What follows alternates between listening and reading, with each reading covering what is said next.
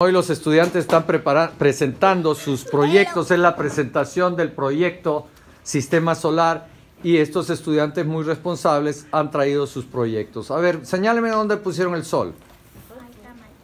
Ese es el sol, ¿no? Es, es el que va en el centro.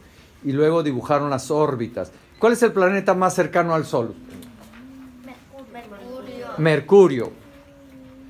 Muy bien. ¿Y después de Mercurio qué planeta sigue? Venus. A ver, señalen Venus. Ok. ¿Y después cuál viene?